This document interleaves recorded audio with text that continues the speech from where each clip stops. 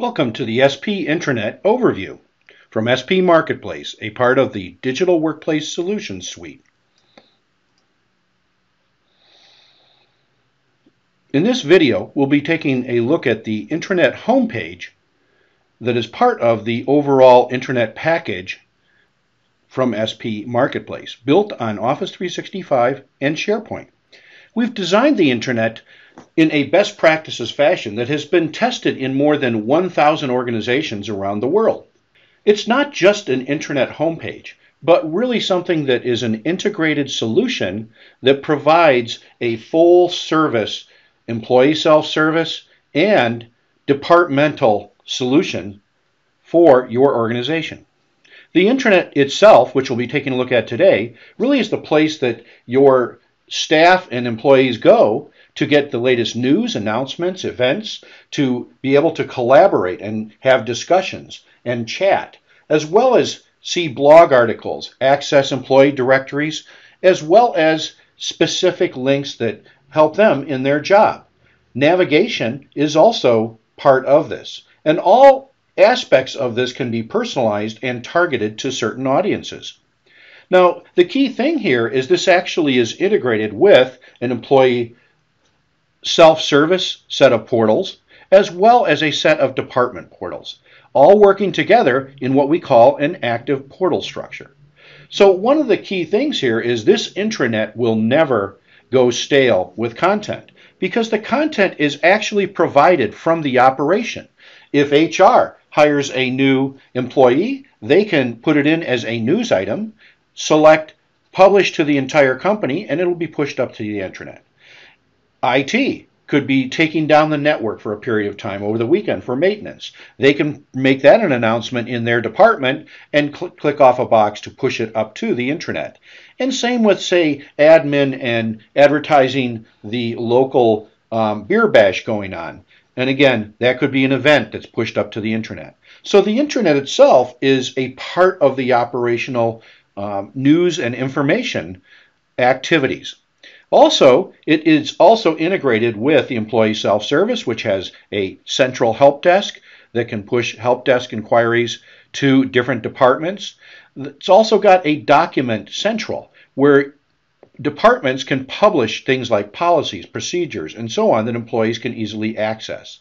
And then even a process central where you can um, have employees do things like time off requests or travel requests and have common approval and access uh, in Process Central and pushed to the departments. So more, much more than an intranet uh, here, this is an entire operational portal structure. But let's take a look at specifically the intranet here. As with all of our products, it's built natively on Office 365 and SharePoint Online. As well, it runs on SharePoint on-premise. It is a no-code portal solution. That means there is no code used and is 100% customizable by Power Business users. So the other thing too is we very carefully have architected this early on in Office 365 SharePoint Online from the very start.